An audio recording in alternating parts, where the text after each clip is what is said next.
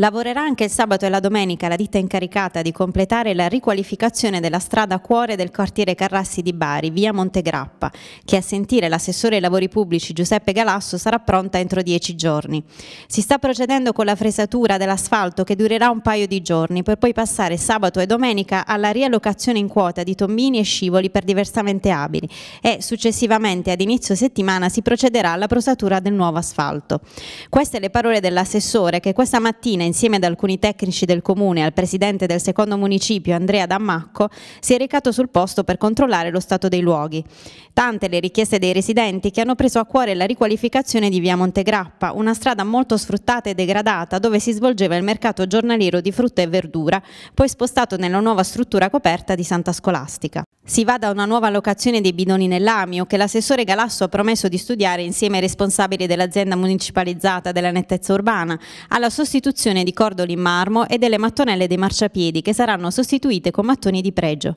L'importo dei lavori che iniziati a luglio avrebbero dovuto concludersi a settembre è di 150.000 euro. Nello stesso appalto rientrano gli interventi già ultimati di costruzione dei marciapiedi della chiesa di Santa Fara, della riqualificazione di via Carnia e di via Fanelli, tratto in corrispondenza di via Iacini.